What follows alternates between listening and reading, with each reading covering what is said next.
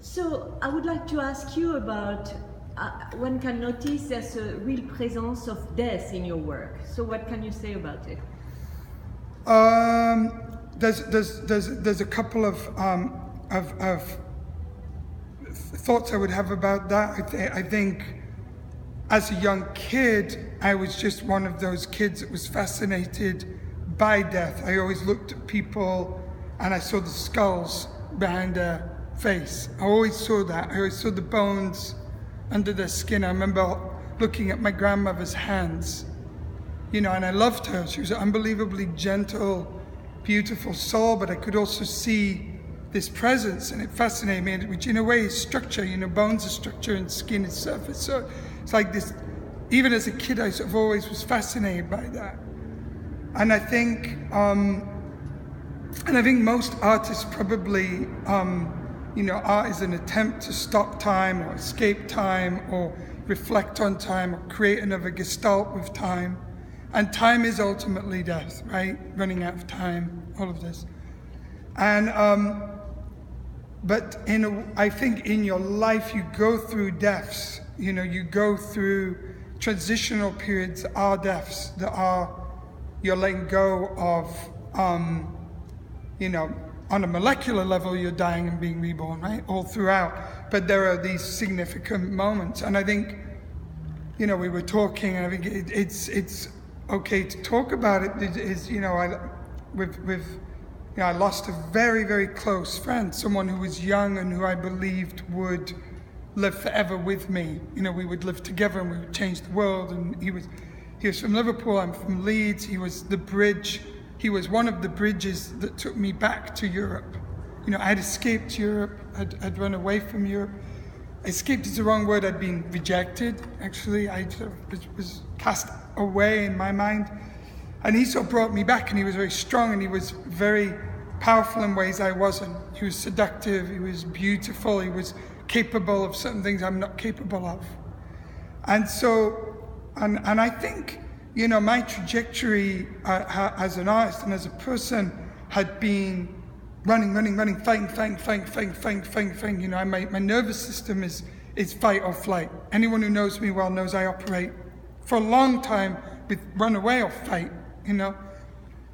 And so that way of being and that system had, had taken me on this journey. Had taken me a long way from my home and had taken me a long way from my roots and it saved me in many ways. But also starts to kill you because you're, you you you know, you're, you're living in a way that's not sustainable. You're burning and you're pushing and you're. And I was working in a very fast, intuitive way. My work was just flowing out, and I came to America and I you know, everything was moving so quickly. and so that is this? And that is, there's a danger there. There's a danger. I start to, I was feeling it already.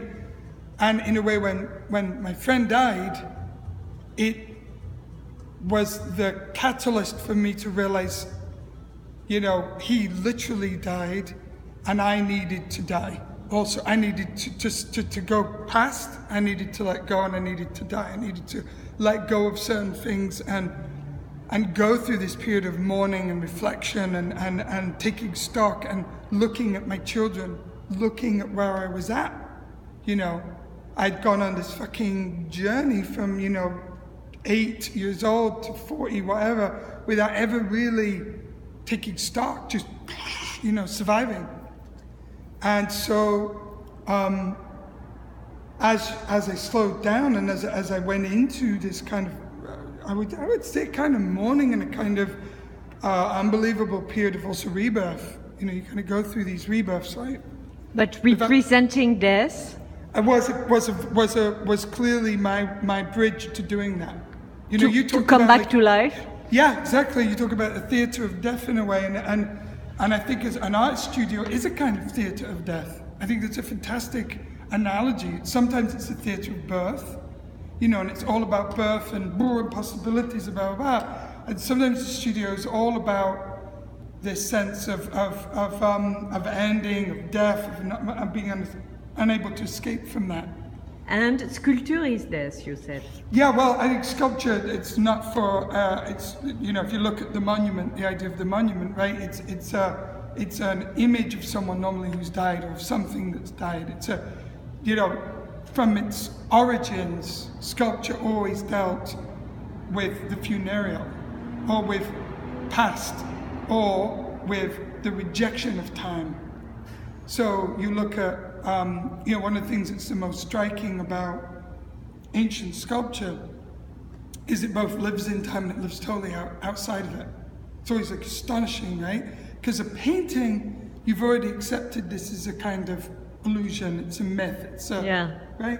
Sculpture occupies your space and it occupies physical reality. It's, it's conditioned to the same things light, space, gravity, right? Touch. Sculpture operates with these. It's, it's a very, sculpture is very disturbing art because of that, because it's both there and not there, and it outlives you in this eerie way, right? Mm. So to me, sculpture's always done that. You know, if you look at its origins, and even how it's used today, and it's interesting that it's that it, we're very frightened of sculpture today. Sculpture's taken a very strange role, right? Because it it, it it does something very weird with time, and it does something very weird with our understanding of our time.